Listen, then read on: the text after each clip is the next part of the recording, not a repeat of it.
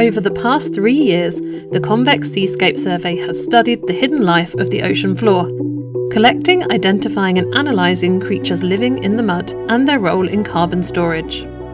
On their latest expedition to Jersey, the scientists are taking a molecular approach.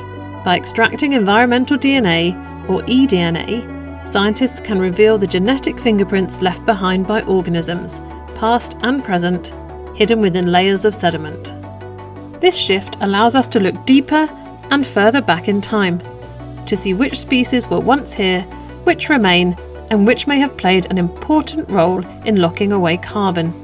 From this, they hope to better understand which animals and habitats we need to protect today to safeguard our climate for tomorrow. Considering its huge area, the seafloor and its sediments are largely understudied. What can look like empty mud could actually be a huge store of carbon. Keeping this locked away could be critical in tackling climate change.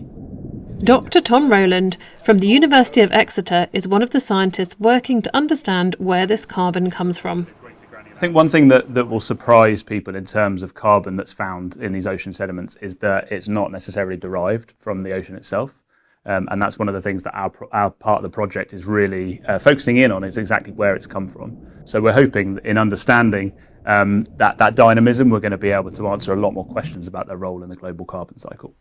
The use of eDNA is um, pioneering really in this sort of context in terms of examining the, the, amount of carbon and particularly the source of carbon.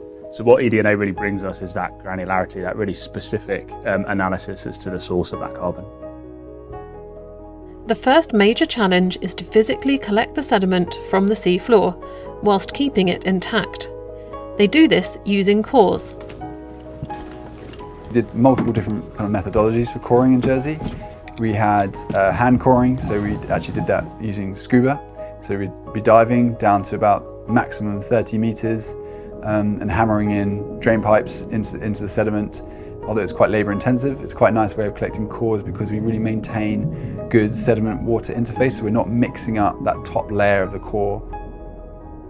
But then we also have on top of that a large industrial scale vibrocorer a six ton piece of kit that can really drive down sort of five, six meters into the sediment to, to take much longer cores in, in harder substrates. So we did a kind of wide range of, of coring in Jersey.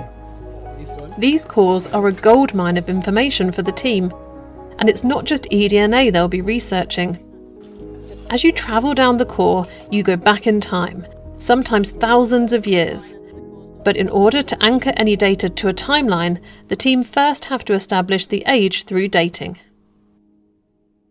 The first thing is to anchor the core with age that we I don't do in the lab but we have some external facility where we send certain matters from that sediments down the core down the depth we use shale matters bivalves to date them to anchor the depth with the age we can't assume that the depth in the core um, correlates to the age for every single core. So uh, 10 centimetres in one core may be, say, 1980, but in another core that's actually at 50 centimetres. So what we do is we employ lead-210 dating and radiocarbon dating. So lead-210 we use in the top uh, about 20 centimetres of that core, and the radiocarbon allows us to capture the older ages, um, so further down that core as well.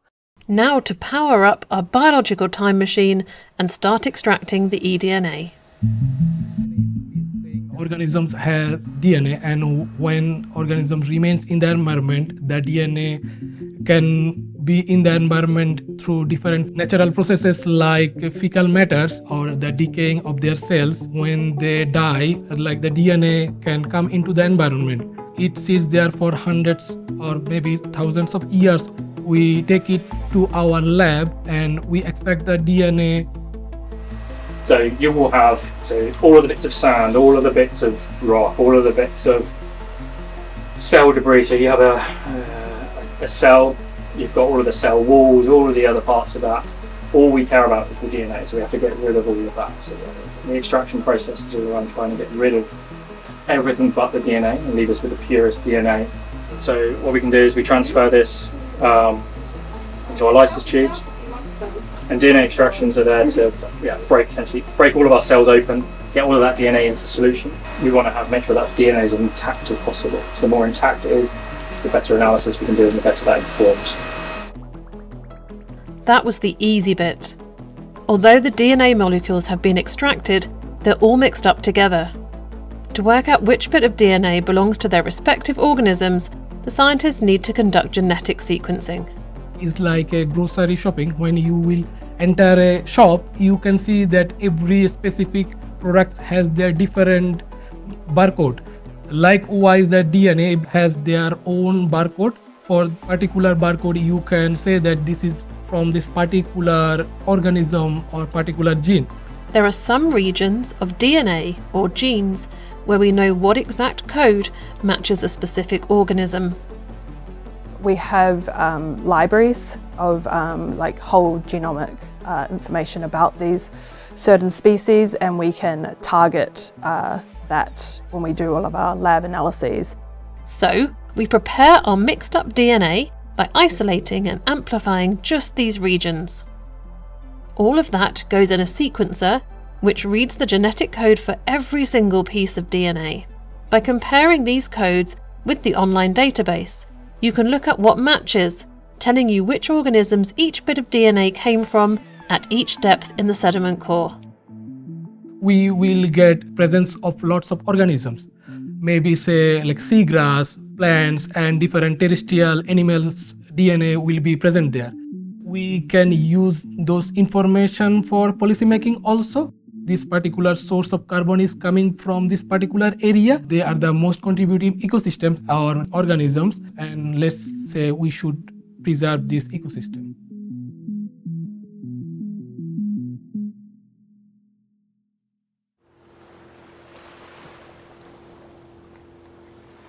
So in Jersey, we have these vegetated coastal ecosystems, so the seagrass beds, and they are blue carbon ecosystems. So we know that they store a lot of carbon and lock them away from the atmosphere. And that's actually a lot more than what we see on land from the forests um, for the area that they cover.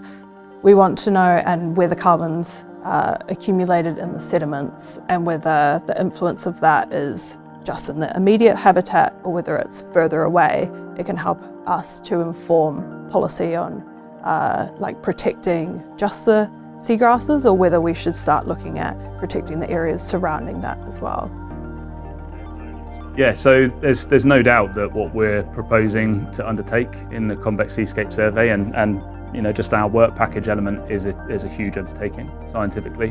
Um, I think people have a, potentially a, a, perception of science that you can get your sample, you put it into a, shiny silver box, you get a number, you publish your paper.